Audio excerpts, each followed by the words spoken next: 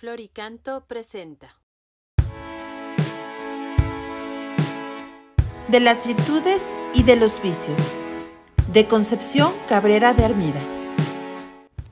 14. Respeto humano. Es hijo del amor propio y de la debilidad. Hace a los corazones avergonzarse de mí mismo y de las cosas que deberían honrarlos. Es el tropiezo de las almas débiles, cobardes y que no me aman de verdad, que en realidad llevan un cuño falso en el corazón y amándome tan solo con la boca, sucumben a la menor prueba cuando se trata de confesar mi nombre, y es porque en su corazón no estoy yo.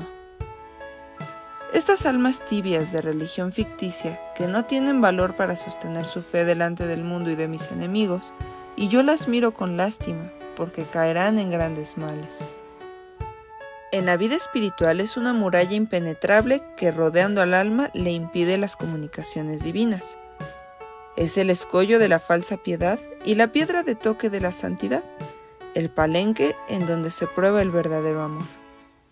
Es el crisol en donde se distingue el oro del oropel, lo que vale de lo que es basura, el amor sólido del amor falso.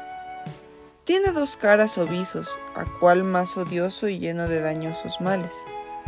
Por él se ejecutan multitud de actos pecaminosos, cuando el alma no tiene suficiente fuerza para resistir al mal ante la faz del mundo corrompido, cuando es débil en su fe es causa de que se dejen de hacer una multitud de buenas y santas obras que debiendo ejecutarse no se ejecutan.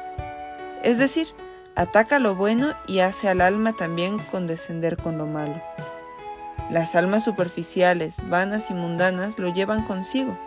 No es de extrañarse, puesto que viven en la atmósfera helada de la falsa piedad. El remedio para el respeto humano es el vencimiento propio producido por la oración mental constante, que enciende el fuego del amor divino en el corazón. El alma que me ama no se avergüenza de confesar mi nombre ni de pertenecerme ante la faz del mundo impío.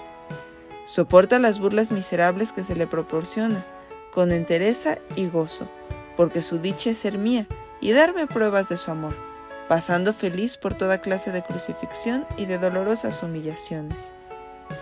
También un premio especial para los vencedores del respeto humano, yo los llenaré de recompensas, los reconoceré como míos el día grande de mis victorias, y aún en el mundo los llenaré de gracias y bienes espirituales.